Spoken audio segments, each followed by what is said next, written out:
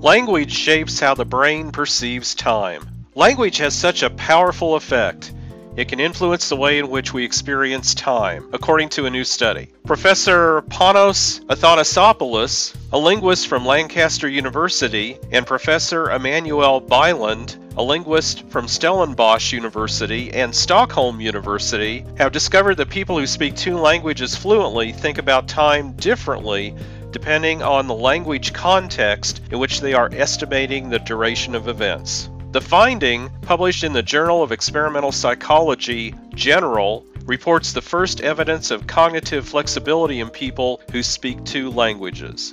Bilinguals go back and forth between their languages rapidly and often unconsciously, a phenomenon called code switching. But different languages also embody different worldviews, different ways of organizing the world around us. And time is a case in point. For example, Swedish and English speakers prefer to mark the duration of events by referring to physical distances. Example given a short break, a long wedding, etc. The passage of time is perceived as distance traveled.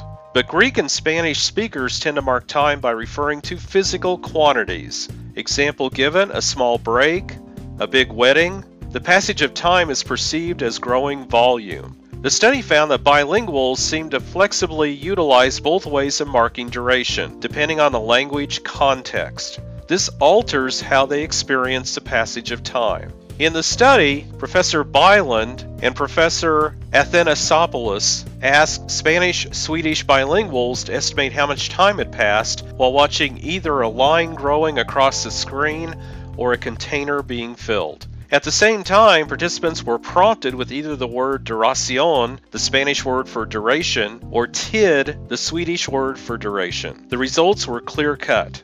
When watching containers filling up and prompted by the Spanish prompt word, bilinguals based their time estimates of how full the containers were, perceiving time as volume. They were unaffected by the lines growing on screens.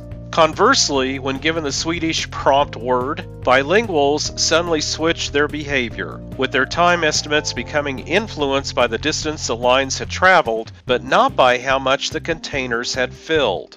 By learning a new language, you suddenly become attuned to perceptual dimensions that you weren't aware of before, says Professor Athanasopoulos. The fact that bilinguals go between these different ways of estimating time effortlessly and unconsciously fits in with a growing body of evidence demonstrating the ease with which language can creep into our most basic senses, including our emotions, our visual perception, and now it turns out our sense of time. But it also shows that bilinguals are more flexible thinkers, and there is evidence to suggest that mentally going back and forth between different languages on a daily basis confers advantages on the ability to learn and multitask, and even long term benefits for mental well being.